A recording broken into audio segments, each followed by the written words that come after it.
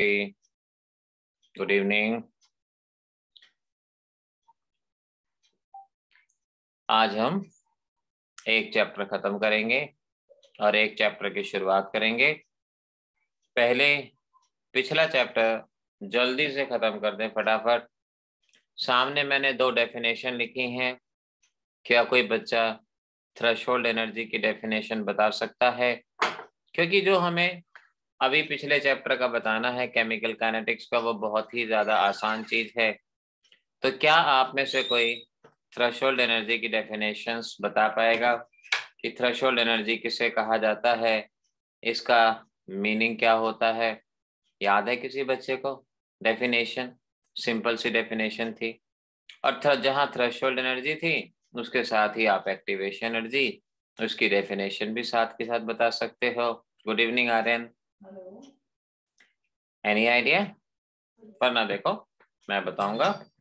जब तक दिमाग लगा लो, शायद किसी बच्चे को याद आ जाए। थ्रेशोल्ड एनर्जी और एक्टिवेशन एनर्जी किसे कहा जाता है?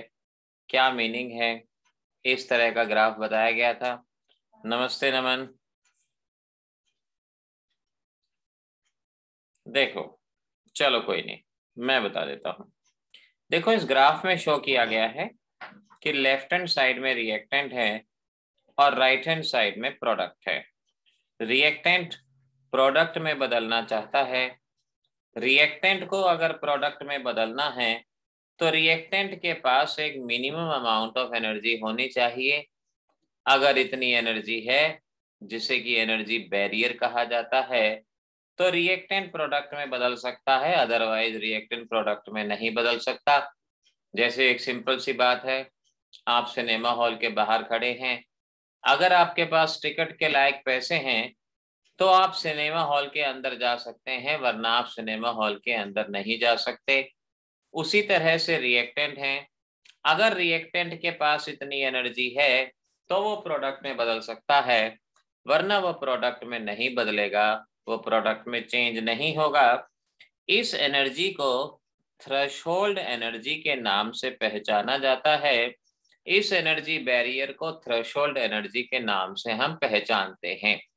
तो थ्रेशोल्ड एनर्जी की डेफिनेशन अगर आप नहीं जानते हैं तो इस डेफिनेशन को यहाँ से लिख लेना। The minimum amount of energy required for reactant to converted into product reactant के पास वो मिनिमम अमाउंट ऑफ़ एनर्जी जिसकी वजह से वो प्रोडक्ट में बदल पाए, इसे थ्रेशोल्ड एनर्जी के नाम से पहचानते हैं और इसे एनर्जी बैरियर के नाम से भी पहचाना जाता है। ये डेफिनेशन लिख लेना, नहीं तो मैंने सभी को डेफिनेशन बता भी रखी है। और यहाँ से इस डेफिनेशन को आप साथ के साथ नोट भी कर सकते हैं। आपको साथ के साथ डेफिनेशन याद रखनी है। लेकिन रिएक्टेंट के पास हमेशा इतनी एनर्जी नहीं होती। रिएक्टेंट के पास हमेशा इतनी एनर्जी नहीं होती। जैसा कि हम यहाँ देख सकते हैं रिएक्टेंट के पास इतनी एनर्जी की कमी है। अगर इतनी एनर्जी मिल जाए तो उसकी एनर्जी थ्रेशोल्ड एनर्जी के बराबर हो जाए, लेकिन इतनी एनर्जी कमी है, इस एनर्जी को एक्टिवेशन एनर्जी के नाम से पहचानते हैं। एक्टिवेशन एनर्जी इसको कहा जाता है। तो एक्टिवेशन एनर्जी का मतलब हुआ extra amount of energy required by reactant to convert into product तो मिनिमम अमाउंट ऑफ़ एनर्जी जो होनी चाहिए ताकि प्रोडक्ट में बदलें, उसे थ्रेशोल्ड एनर्जी कहते हैं। और जितनी हमें रिएक्टेंट को एक्स्ट्रा एनर्जी देनी पड़ती है, ताकि उसकी एनर्जी प्रोडक्ट के कन्वर्ट करने में हेल्पफुल हो थ्रेशोल्ड एनर्जी के बराबर हो जाए, उसे एक्टिवेशन एनर्जी के नाम से पहचाना जाता है। ये दोनों डेफिनेशन यहाँ से हर बच्चे को याद हो जाएँगी। दोनों डेफिनेशन याद रहेंगी। अब देखो, हमारे पास एक और चीज़ आती है, जिसे कोलिजन थ्योरी कहा जाता है। नए सिलेबस में कोलिजन थ्योरी मेंशन नहीं है डिलीटेड सिलेबस में कोलिजन थ्योरी मेंशन नहीं है, लेकिन इसका एक बेसिक आइडिया अगली डेफिनेशन को जानने के लिए ज़रूरी है। अगली डेफिनेशन को पता करने के लिए ज़रूरी है। तो कोलिजन थ्योरी कोलिजन थ्योरी क्या कहती है? कोलिजन थ्योरी बहुत सिंपल सी बात कहती है। ये कहती है कि रिएक्टेंट आपस में रिएक्ट करते हैं। वो तभी आपस में रिएक्ट करते हैं जब उनके बीच में कोलिजन होता है। जब रिएक्टेंट के मॉलिक्यूल आपस में कोलाइड करते हैं, उनके पुराने बॉन्ड टूटते हैं, नए बॉन्ड बनते हैं और इस वजह से प्रोडक्ट बनता है। फॉर एग्ज़ाम्पल जैसे आपके पास रिएक्शन है सपोज़ आपके पास है H two plus I two gives you twice H I ये रिएक्शन है। अब कोलिजन थ्योरी के हिसाब से रिएक्शन तब होगी जब H2 का मॉलिक्यूल I2 के मॉलिक्यूल से कोलाइड करेगा I2 के मॉलिक्यूल से टकराएगा। और इसको कैसे शो किया जाता है? ऐसे शो किया जाता है, ये है हाइड्रोजन का मॉलिक्यूल ये है आयोडीन का मॉलिक्यूल दोनों आपस में टकराएँगे। जब ये दोनों आपस में टकराएँगे तो इनके पुराने बॉन्ड टूटेंगे।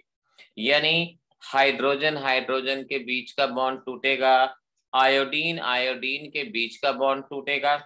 तो इनके पुराने बॉन्ड टूटेंगे और इनमें नए बॉन्ड बनेंगे। हाइड्रोजन हाइड्रोजन का बॉन्ड टूटेगा आयोडीन आयोडीन का बॉन्ड टूटेगा और हाइड्रोजन आयोडीन में नया बॉन्ड बनेगा। पुराने बॉन्ड टूटेंगे, नए बॉन्ड बनेंगे। इस कंडीशन को एक्टिवेटेड कॉम्प्लेक्स या ट्रांजिशन स्टेट के नाम से पहचाना जाता है। एक्टिवेटेड कॉम्प्लेक्स या ट्रांजिशन स्टेट इसे कहा जाता है। तो एक्टिवेटेड कॉम्प्लेक्स और ट्रांजिशन स्टेट क्या हुआ? एक ऐसी कंडीशन जहाँ पुराने बॉन्ड टूट रहे हैं, नए बॉन्ड बन रहे हैं, और फिर पुराने बॉन्ड पूरी तरह से टूट जाएँगे और नए बॉन्ड पूरी तरह से बन जाएँगे और आपके पास एच आई बनेगा, जो कि आपका प्रोडक्ट है एच आई यहाँ पर बनेगा। तो यहाँ से एक बेसिक बात जिसे आपको समझना था वो ये है कि रिएक्शन तब होती है जब मॉलिक्यूल आपस में कोलाइड करते हैं, जब मॉलिक्यूल आपस में टकराते हैं। और अब हमारी मेन डेफिनेशन जिसके लिए मैंने आपको कोलिजन थ्योरी का ये छोटा सा पार्ट बताया, इसे मॉलिक्यूलरिटी कहा जाता है। इंपॉर्टेंट मार्क कर लेना है मॉलिक्यूलरिटी तो मॉलिक्यूलरिटी क्या होता है?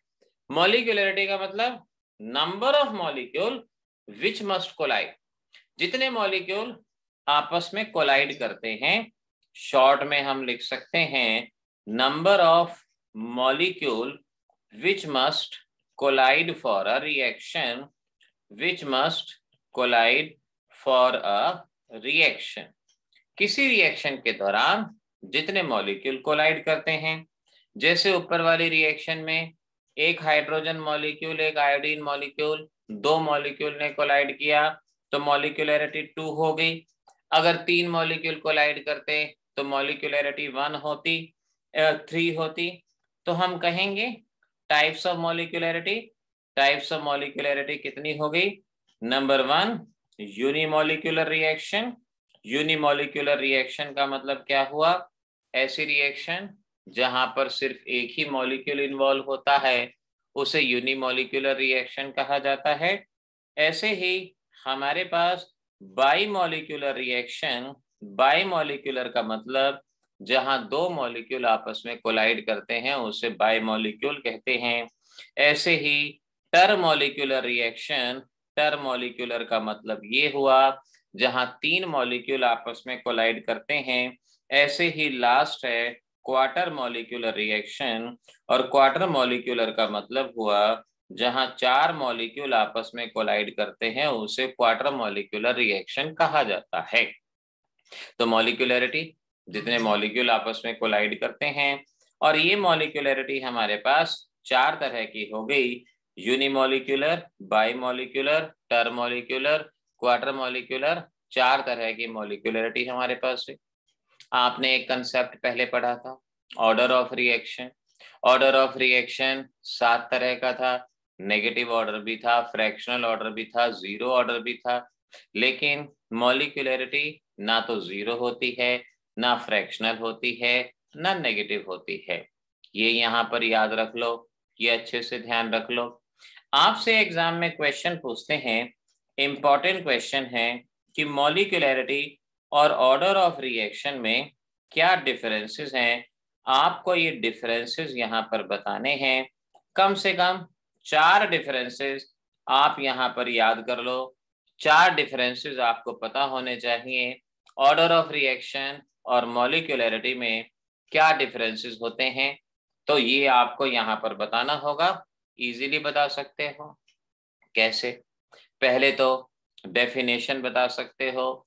डेफिनेशन की मॉलिक्यूलरिटी की डेफिनेशन क्या है? और ऐसे ही ऑर्डर ऑफ़ रिएक्शन की डेफिनेशन क्या है?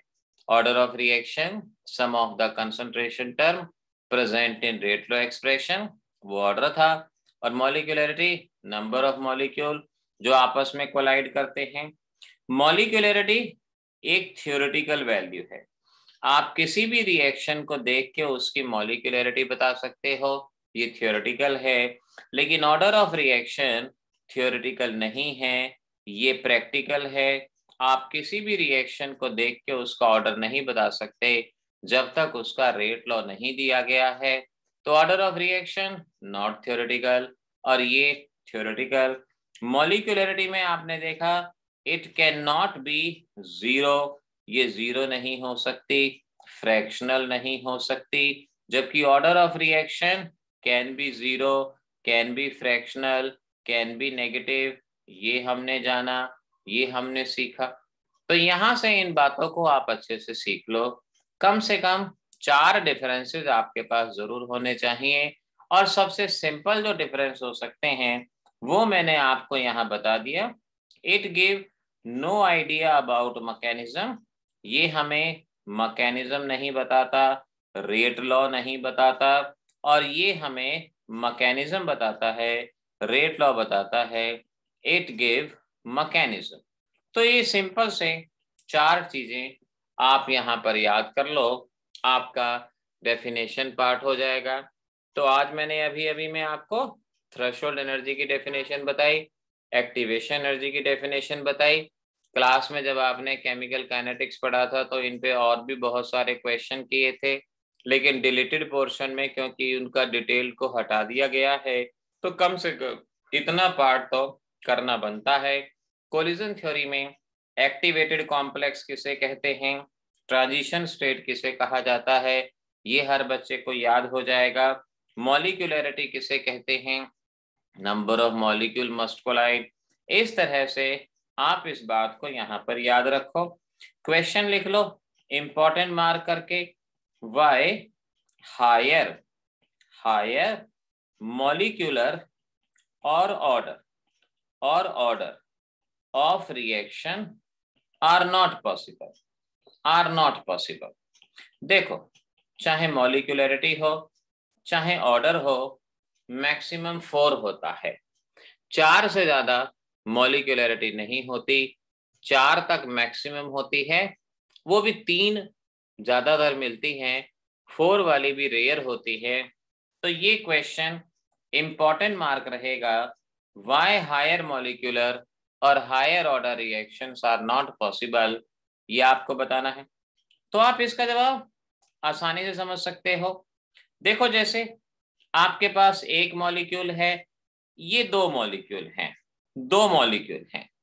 अब दो मॉलिक्यूल आसानी से आपस में टकरा सकते हैं, यानी मॉलिक्यूलरिटी टू आसानी से हो सकती है, कोई प्रॉब्लम नहीं है। दो मॉलिक्यूल का टकराना कोई बड़ी बात नहीं है। अगर आपके पास तीन मॉलिक्यूल हैं तो तीन मॉलिक्यूल भी बड़ी आसानी से आपस में टकरा सकते हैं, आसानी से टकरा सकते हैं तो मॉलिक्यूलरिटी तीन भी आसानी से हो सकती है। लेकिन अगर आपके पास चार मॉलिक्यूल हैं तो चार मॉलिक्यूल जब आपस में टकराएँगे तो वो साइमल्टेनियस कोलिजन नहीं होगा। देखो ये, एक मॉलिक्यूल, दो मॉलिक्यूल तीन मॉलिक्यूल चार मॉलिक्यूल हम कहेंगे, जब चार मॉलिक्यूल आपस में टकराते हैं तो ये कोलिजन साइमल्टेनियस कोलिजन नहीं होता।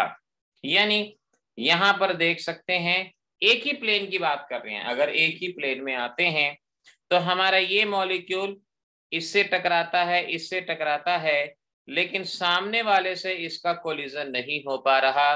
ये दो से तो टकरा रहा है, लेकिन सामने वाले से नहीं। ऐसे ही किसी भी मॉलिक्यूल को देख लो, ये इससे टकरा रहा है, इससे टकरा रहा है, लेकिन सामने वाले से इसका कोलिजन नहीं हो पा रहा। तो जब एक ही प्लेन में रिएक्शन होती है तो चार मॉलिक्यूल का आपस में टकराना साइमल्टेनियस कोलिजन करना पॉसिबल नहीं होता। तो प्लेनर मॉलिक्यूल या प्लेनर में होने वाली रिएक्शन में चार मॉलिक्यूल आपस में नहीं टकरा सकते। हाँ लेकिन अगर reaction more than one plane है मोर देन वन प्लेन है तो क्या होगा? तीन मॉलिक्यूल एक प्लेन में आपस में टकराएँगे। ध्यान से देखना, तीन मॉलिक्यूल एक प्लेन में आपस में टकराएँगे और एक मॉलिक्यूल ऊपर से टकराएगा या नीचे से टकराएगा। जैसे सपोज़ ये येलो मॉलिक्यूल ऊपर से आके टकराता है और ये साइमल्टेनियसली सभी से टकरा रहा है, हर एक के साथ कोलिजन हो रहा है। तो जब रिएक्शन एक ही प्लेन में होती है तो वहाँ मैक्सिमम मॉलिक्यूलरिटी थ्री होती है। याद रखना, भूलना नहीं। लेकिन जब थ्री डायमेंशन में रिएक्शन होती है तो मैक्सिमम मॉलिक्यूलरिटी फोर होती है। चार मॉलिक्यूल आपस में टकरा सकते हैं, चार से ज़्यादा मॉलिक्यूल आपस में नहीं टकरा सकते। इस बात को ध्यान रखें। तो हमारे इस क्वेश्चन का आंसर मैं बोल देता हूँ। आप लिख लेना। Because it is not possible to collide large number of molecule simultaneously because it is not possible to collide large number of molecule simultaneously, इस वजह से हायर मॉलिक्यूलरिटी नहीं होती और हायर ऑर्डर नहीं होता। अब एक नंबर में अगर क्वेश्चन आए कि अगर एक ही प्लेन में रिएक्शन है तो मैक्सिमम मॉलिक्यूलरिटी क्या होगी? तो आपका जवाब आपके पास है थ्री और अगर थ्री डायमेंशन में है तो मैक्सिमम मॉलिक्यूलरिटी क्या होगी? तो आपका जवाब है फोर इस बात को ध्यान रखना, ये बात को समझ के रखना। ऐसे बच्चों, ये हमारा चैप्टर यहाँ पे